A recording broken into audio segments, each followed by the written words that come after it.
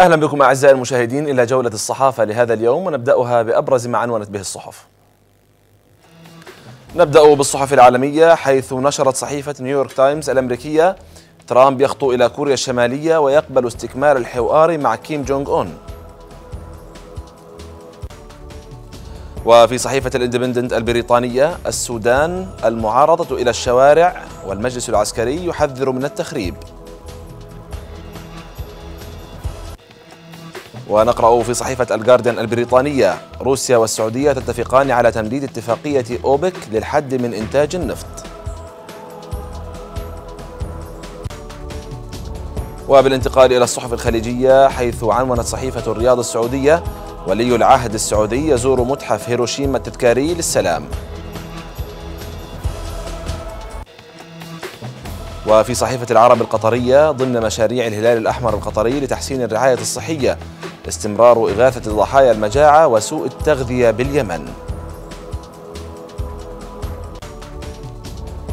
ونقرأ في صحيفة الخليج الإماراتية. محمد بن راشد يقول الإمارات تستضيف العالم في قمة إكسبو للحكومات في نوفمبر 2020 ونقرأ أيضا في الصحف التركية حيث عنونت صحيفة يني شفق. مجلس الدولة الليبي يعتبر تهديدات حفتر إعلان حرب ضد تركيا. وأخيرا نقرأ في صحيفة ديلي صباح. أجار يصرح تركيا سترد بقوة على أي عدوان من قبل قوات حفتر.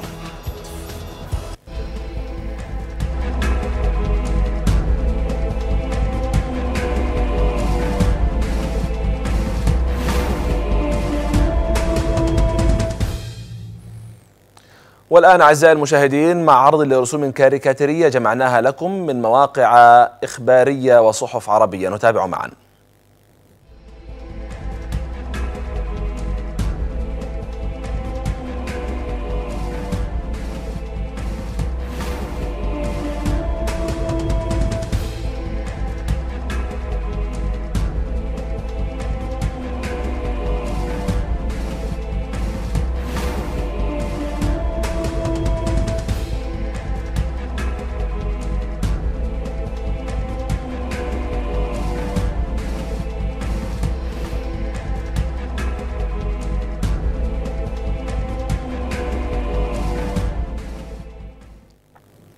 في مقتبل الإجازة الصيفية لطلبة المدارس يتجه معظم الأطفال إلى قضاء أوقات فراغهم في التحديق طويلا أمام الشاشات الصغيرة والمضيئة. عالم افتراضي يغيب عقولهم ويشتت تفكيرهم بل ومن الممكن أن يؤدي إلى عواقب وخيمة لم تكن بحسبان آبائهم. أجهزة ذكية من الممكن أن تكون سببا في غباء الأطفال والحد من مهاراتهم الذهنية. صحيفة الغد الأردنية ذكرت تفاصيل عن إدمان الأطفال على الألعاب الإلكترونية والهواتف الذكية. نتابع ثم نستكبر النقاش. يبحث الأطفال في العطلة الصيفية عن طريقة لإشغال النفس وتعبئة وقت الفراغ إذ يجدون ملاذهم بالألعاب الإلكترونية والتي تشكل لهم مساحة واسعة للترفيه عن النفس. أما الآباء فيقفون حائرين أمام هذه المشكلة الكبيرة والعزلة الاجتماعية والتي تطال الأبناء مع صعوبة السيطرة على ذلك الهوس. ويتفاعل الأطفال مع هذه الألعاب كما لو أن تفاصيلها حقيقية لتسبب لهم حالة من الانطواء تظهر بتعاملهم مع الآخرين فضلا عن آلام جسدية ونفسية ترافقهم. أشعر بالضياع والفراغ والقلق عند فصل الإنترنت عن البيت. هكذا بدأ الطفل علي عبد الكريم كلامه إذ يجد في الألعاب الإلكترونية ملاذه وسعادته فهو يقضي معظم وقته أمام الشاشة بدون كلل أو ملل. ويضيف أن الإجازة تزيد من تعلقه بالألعاب الإلكترونية كونها متنفسه الوحيد. ويعترف أنه مغيب عن الكثير من الأنشطة وحتى التواصل مع أسرته ومشاركتهم الجلسات لكنه لم يعد يشعر بالمتعة إلا بعالمه الخاص.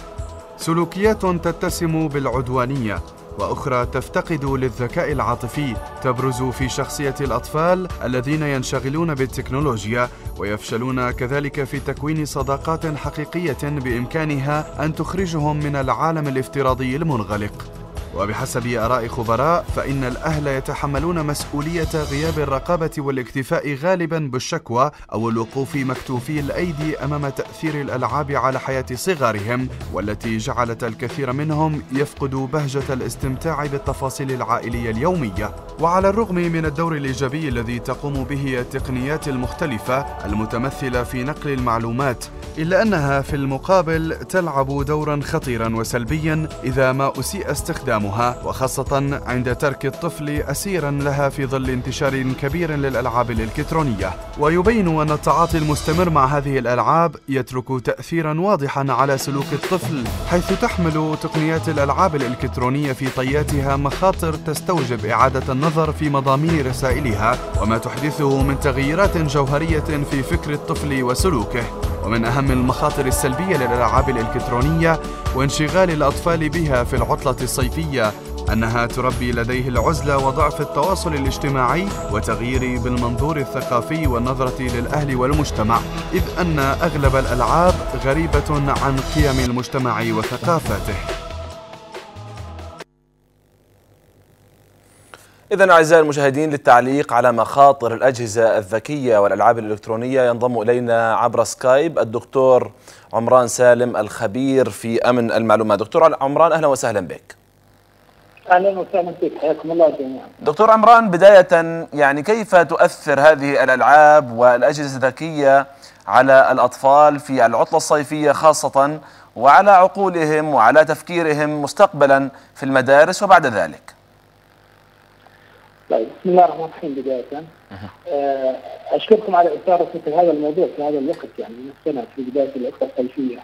آه، إحنا نتحدث طبعا عن إدمان الالعاب الإلكترونية حتى آه، لا نقع في الجدال الدائر حاليا هل الألعاب مفيدة؟ هل أقوم بقطعها عن الأولاد؟ هي القضية يعني مرتبطة بالإدمان، الساعات اللي بياخذوها الطفل، حقيقة في دراسات كثير الآن وأنا اجريت دراسة قبل سنتين على عينة كبيرة جدا تفوق ال 1000 طفل في الأردن تقريبا. آه، عدد الأطفال يعني اللي عملنا عليهم دراسة أخذنا منهم إجاباتهم على كم ساعة بيقضوا اوقاتهم على الأجهزة الذكية سواء العاب إلكترونية على ال PlayStation ال social media الوقت اللي بيصير طفل في العالم الآخر بيحكي اللي هو عالمه اللي عايش فيه الآن. آه، وصلنا لنتائج حقيقه مرعبة جدا يعني كانت أقل أقل عدد ساعات كان ساعتين لثلاث ساعات. في أطفال اقروا انه بيجلس 10 ساعات في اليوم. يستيقظ بفطر هو عند الكمبيوتر بيتغدى هو عند الكمبيوتر. في الليل بينام هو جنب الكمبيوتر أيضا. يعني بيقضي تقريبا 10 إلى 12 ساعة بجانب الكمبيوتر. كانت العينة عندنا تقريبا وضحت لنا تقريبا انه أربع ساعات يأخذ الطفل من يومه آه على مستوى السنة كاملة. على الأجهزة الذكية بالصيف تصل إلى 10 ساعات. نعم. طبعا هذا الادمان أنا شو ضرره؟ إحنا نتكلم عن اضرار ما نتكلم عن ضرر. نحكي ممكن يدخل على مواقع إباحية ولا ممكن يلعب ألعاب بتضر بصحته. هي هي أضرار كثيرة جدا. يمكن التقرير ذكر كثير من الأضرار اللي إحنا بنخاف منها حقيقه واللي اقرتها الأبحاث العالمية. إحنا ما نتكلم الآن عن حالات نادرة أو عن حالات قد تأتي في المستقبل. هي حالات الآن موجودة بين إيدينا. وأنا نعم. شفت بعض الحالات بعض الأولاد. أول شيء شوف الإدمان على الألعاب الإلكترونية وغياب الرقابة. خاصة الألعاب التي يعني من الممكن أن يكون بها نوع من العنف والدماء والمظاهر يعني المثيرة للإشمئزاز. آه أول شيء سلوك الطفل بيتغير الطفل بيصير الآن بده عالمه الخاص بكاد سلوكه يتغير مع أهله صار في عنده عصبية حتى بصير عنده عصبية في اللعبة نفسها بصير عنده دافع إنه يصير عصبي أكثر طبعا هذا كله تجهلك الجهاز العصبي الطفل في هذا العمر نحكي 12 سنة ولا 13 سنة يبدأ يعصب بالطريقة اللي بيعصب فيها الكبار حقيقة مشكلة كبيرة جدا. فأحد المظاهر هي العصبية وكثير من الأباء أقروا إن أولادهم بس يخسر في اللعبة ممكن يكسر الكيبورد ممكن يكسر الماوس نعم. ممكن يضرب أخوه مثلا لأنه الجهاز العصبي هو جالس في بيته عم بقود معركة وهو جالس في بيته هذا الأصل إنه يلعب يروح يقصد يلعب كرة قدم يحرك عضلاته هو ما بيحرك عضلاته هو بيحرك دماغه فقط. الجهاز العصبي مش عارف يتحرك. يعني في شغل له في إخوانه أو في جهازه الإلكتروني أو في ايد ال PlayStation بكسرها نعم. إذا خسر أو فقد أعصابه. على مستوى التوهج اللي بيجي بالشاشات هذا كثير أولاد بيشتكوا من قلة النوم أو بينام ولكن ما بيرتاح لنومه. الساعة البيولوجية بتخرب عنده. أنا حقيقه جلست مع كثير مدرسين في المدارس تقريبا الطفل بقعد شهر بس يلتحق في المدرسة حتى يتأقلم مع جو المدرسة الجديد. نعم. لأن الثلاث شهور اللي بقضيها في الالعاب طيب دكتور دكتور عمران يعني هل هناك مدة معينة أو معيار معين من الوقت مسموح للطفل أن يعني يستغرق في استخدام الهاتف الذكي والألعاب الإلكترونية؟ ومن الممكن أن لا يؤثر ذلك على أسلوبه وعلى عقله وعلى تصرفاته. هي القضية ليست بس في الوقت هي في النوعية أيضا، يعني إحنا إذا بدنا نعطيه بس وقت معين ونعطيه ألعاب آه، سيئة ممكن تأثر عليه، إحنا بدنا نعطيه وقت نعم. محدد وبنفس الوقت نوعية محددة. يعني الألعاب العنف عادة بتخلق الطفل عنيف على المدى البعيد. في بعض الألعاب بتخليه مشتت الانتباه خاصة إذا قضى وقت كثير. الأوقات اللي بتكلم فيها الخبراء إنه أكثر من نص ساعة متواصلة ما يلعب الطفل، نص ساعة وبعدين لازم ياخذ راحة. في بعض الأولاد بيجي ساعتين ثلاث ساعات متواصلة، كثير متواصله يعني يعني 180 دقيقة. وأكثر وأكثر من ذلك. وأكثر من ذلك. هذا كثير إنه عقل الدماغ فعلا يعمله في حالة أخرى. يطلع لنا طفل انطوائي ما بده يختلط في المجتمع ابدا فقط بده يضل على جهازه. نعم. طيب أحيانا دكتور الآباء يفضلون إسكات أبنائهم عن البكاء بإعطائهم مثل هذه الأجهزة يعني بنوع من أنواع يعني راحة النفس لهم يعني يفضلون أن يريحوا أنفسهم بإعطائهم هذه الأجهزة. هذه الراحة هذه مؤقتة هذه الراحة مؤقتة. يعني الأب والأم سيجنوا آه، ضرر هذه هذه الراحة القليلة بعد فترة يعانوا في يودوا على أطباء نفسيين على سبيل المثال في بعض الألعاب الإلكترونية وحالات إدمان إلكتروني. ما بدها واحد خبير آه، في الألعاب الإلكترونية للسوشيال ميديا يعالج الطفل. بدها خبير نعم. نفسي بدها طبيب نفسي يعالج الطفل. فهذه الراحة القليلة اللي هي نص ساعه أو ساعة اللي الاب آه، حب يعطي ابنه فيها الجهاز أو ساعتين ثلاث أو يوم هذه بعد تراكمات الأب راح يحتاج أشهر لعلاج ابنه فيها. فلذلك أنا بعتبرها جريمة إنه الأب والأم يعطي الطفل جهاز حتى يسكته خاصة الأطفال الصغار اللي عمره سنتين وثلاثه أنا بشوف انه بعض الآباء والأمهات زي ما تفضلت من أجل اسكاته بعطيه الجهاز بغض النظر شو في محتوى وإيش الطفل بده يعمل وكيف جلسته حتى جلسته صحيه أو لا ما براعيها نعم. طبعا هذا كله تجديد الأخير الأب والأم وبيعانوا انه يجب على طبيب عظام واحيانا طبيب نفسي واحيانا يعني طبيب عيون بعض الأحيان. كلياته هذا تراكمي ما بيجي بيوم وليلة. طيب ذكرت عن مخاطر الألعاب الإلكترونية. ألا يوجد هناك معايير معينة لهذه الألعاب؟ ومثلا تنويعها على أعمار الأطفال يعني لكل آه، فئة من عمر الأطفال تكون هناك ألعاب معينة. ولا يسمح لألعاب أخرى أن تكون بتناول أعمار معينة من الأطفال. والله هو في معايير لكن 90% من اباء الدراسات تتكلم 90% من الاباء ما بيعرفوا هذه المعايير ما اطلعوا عليها وما بيعرفوا إذا اللعبة مناسبة لابنه أو لا. يعني بتلاقي اللعبة مكتوب عليها بلس 16 16 سنه فما فوق. بتلاقي إنه الطفل عمره 12 سنة أو 10 سنين بيلعب فيها. نعم. الشركات الكبيرة اللي بتطور الألعاب بتحط عدد من المعايير. في بعض الألعاب معاييرها عالية جدا فيها يعني أمور إباحية أحيانا. فبكون عليه بلس 18 بتلاقي طفل صغير عمره 10 سنين أو 12 سنة بيلعب فيها واهله ما بيعرفوا هذا الكلام. خلي الأباء يقرأوا ويشوفوا إيش السن المناسب للعبة آه، حتى يعني يقرر خلي ابنه يلعبها أو لا. نعم. طيب ذكرت وتحدثت عن تأثير هذه الألعاب على سلوك الأطفال بعد ذلك خصوصا في آه، فترة الدراسة. ولكن أريد أن أسألك عن طبيعة آه، هذه الألعاب وتأثيرها على المستوى الدراسي للطفل. كيف تؤثر على المستوى الدراسي؟ هل من الممكن أن تجعل مستواه الدراسي متدني أن تجعله مثلا آه، لا يستطيع التركيز في حصصه الدراسية؟ مية في المية. لما يكون في تشتت ذهني عند الطفل تعلق في اللعبة تأكد تماما أنه مش راح يدرس.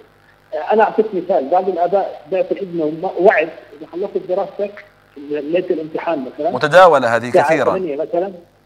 موجودة. الساعة 8 إذا خلصت دراستك تعطيك ساعة من 8 ل 9 بالليل. نعم. تلعب على اللعبة الفلانية حتى تنجز فيها. طبعا طول فترة الدراسة بتكون ذهنه مش في الدراسة. ذهنه في الساعة اللي بده يلعبها إيش؟ بده يلعب. ومع مين بده يلعب؟ ومين أصحابه اللي بده ينسق معهم عشان يلعب معهم اونلاين فبتلاقي إنه الطفل عقله مرتبط باللعبة أكثر من دراسة من ينهي دراسته. بتلاقي هو بس عنده وقت عده دقائق بغض النظر عن جودة التعليم أو جودة الدراسة تبعته أهم شيء يوصل للساعة اللي بده إياها هذه يمسك مع أصحابه وبكون نعم. كل تركيزه في هذه الساعة. لذلك أنا كثير بنصح الأباء. فترة الامتحانات على سبيل المثال. قبل نعم. الامتحان بيومين ثلاث إغلاق كامل لكل الأجهزة الذكية في البيت والألعاب الإلكترونية لحديث آخر يوم امتحان. حتى يركز الطفل. ما يصير عنده وعود إن أنا لعبك اليوم أو خلص خذ راحة. هذه الراحة هي اللي بتقتل الطفل. هذه الألعاب حقيقه نعم. الألعاب فترة الصباح قبل ما يطلع المدرسة. أيضا بتشتت طول النهار بصير يفكر فيها. نعم. لذلك التخفيف وأعطاء وقت قصير وفترة راحات طويلة على الأقل يعني بتساعدنا شوي إنه نعالج الطفل طيب دكتور ألا يمكن استغلال هذه الأجهزة بطرق معينة بديلة عن الألعاب الإلكترونية؟ مثلا من الممكن أن تكون هناك برامج توعوية برامج تعليمية من الممكن أن تطور آه، تفكير الأطفال وترتقي بهم. في عندنا إحنا ألعاب موجود في ألعاب ذكاء في عندنا برامج تعليمية موجود هي المحتوى العربي هو يفتقر حقيقه بعض هذه الأمور لكن موجود. ولكن غير غير شائع. يعني يفتقر غير شائع بالضبط. نعم. لأنه في عندنا ترند إحنا بنسميه أو نحكي إنه الشائع بين الأطفال إنهم في المدارس لما يروح بيتكلموا عن اللعبة الفلانية، فبالتالي بيجي ابنك بحكي لك أنت بتخليني أحضر الشراط هذه بس أنا بدي ألعب اللعبة اللي بيلعبوها أصحابي، لازم أروح بكرة أتكلم معهم على الأقل يعني أتكلم معهم باللغة اللي بيتكلموا فيها، بلغة اللعبة اللي إحنا بنتكلم فيها، لكن هاي مسؤولية الآباء ومسؤولية المدارس أيضا إنها تطلع منتجات وتعرف الأطفال على آه هذه البرامج أو نحكي الفيديوهات التعليمية على سبيل المثال وتكون جزء من الخطة الدراسية. يعني أنا بأيد إنه جزء من الخطة الدراسية إنه كيف يستغل الطفل الإنترنت استغلال أمثل، إنه كيف يلخص من الإنترنت، كيف يبحث لنا عن فيديو مفيد، كيف ينتج فيديو مفيد أحيانا أو يعمل محتوى علمي مفيد على سبيل المثال. لذلك إشراك الطلاب بصناعة محتوى والبحث عن محتوى مفيد أنا بعتبرها جزئية آه، يعني مسؤولية مجتمعية ومسؤولية تعليمية في المدارس أيضا. نعم. طيب دكتور في سؤال أخير ما هو الدور اللازم على الآباء يعني اتباعه في هذه المسألة وما هي نصائحك للآباء والأهالي والله أنا دائما بقول للآباء والأمهات التربية في العصر الرقمي اللي إحنا فيه التربية مضاعفة جهدها مضاعف يمكن عشر مرات عن قبل عشر سنوات أو عشرين سنة كون المتغيرات كثير حوالين الطفل يعني إحنا الطفل في في المدرسة بيسمع أصحابه، في الإعلام بيتكلم عن ألعاب إلكترونية، بيمسك الكمبيوتر كلها العاب وإعلانات بتطلع له. آه هون بتصير مسؤولية الآباء والأمهات اللي هي المتابعه الدورية أو المتابعه على سلوك الطفل، هل بتغير سلوكه ولا لا؟ هل الطفل صار عنده انطواء ولا لا؟ آه تتبعه مثلا حتى على ال social media، مع مين بيتكلم؟ خاصة الأطفال الصغار أحيانا بيقعوا في مطبات أو بيقعوا في مشاكل مع آه ناس بالغين أحيانا آه، ناس مجرمين أنا بعتبرهم على مواقع التواصل الاجتماعي الآباء في ما بيعرفوا هذا الموضوع القرب من الأطفال في هذا العصر أنا بعتبره حتمي جدا جدا جدا لأن المتغيرات المؤثرات على الأطفال كثيرة جدا نعم. واثارها سيئة وتدريجية فيه لذلك أنا بحكي لكل أب وأم خليك قريب من ابنك وبنتك البنات أيضا والأولاد كلهم حقيقة الآن في ورطه كبيرة في هذا العصر اللي إحنا فيه. يتطلب جهد مضاعف جهد مضاعف من الإعلام جهد مضاعف من المدارس أيضا وزارة التربية. إحنا في عصر حقيقة خايفين على الجيل هذا إنه تختلط عليه الأمور تختلط الثقافة عليه يضيع فيما بعد. وصلت الفكرة. أشكرك جزيل الشكر خبير الأمن المعلومات الدكتور عمران سالم على مشاركتك معنا وإثرائك هذه المسألة الهامة والخطيرة في مستقبل أطفالنا. إذا أعزائي المشاهدين فاصل قصير ثم يصحبكم زميلي فاتح أبو دان لاستكمال حوار المنتصف. لا تذهبوا بعيداً.